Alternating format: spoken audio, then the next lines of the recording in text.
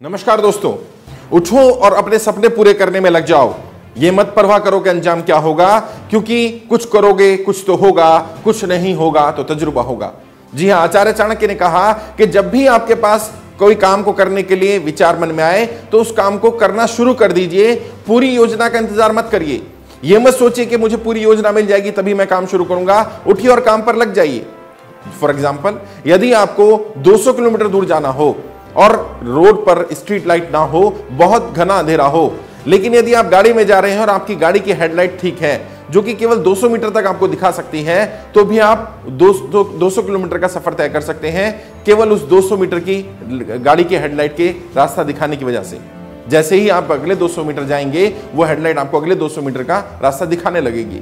ऐसे ही हमारे जीवन में योजनाओं के साथ, रणनीतियों के साथ होता है। ज़रूरी नहीं कि पूरी योजना, पूरी रणनीति आपको एक बार में ही पता हो। जब आप रणनीति पर काम करना शुरू करेंगे तो आगे के रास्ते अपने आप बनते चले जाएँगे, अपने आप दिखते चले जाएँगे। कोशिश करिए, प्रयास करिए, काम शुरू करिए। जितना समय सोचने में लगा रहे हैं, उतना समय कार्य करने में लगाइए। यकीनन आपको सफलता अवश्य मिलेगी। जय हिंद, जय भारत।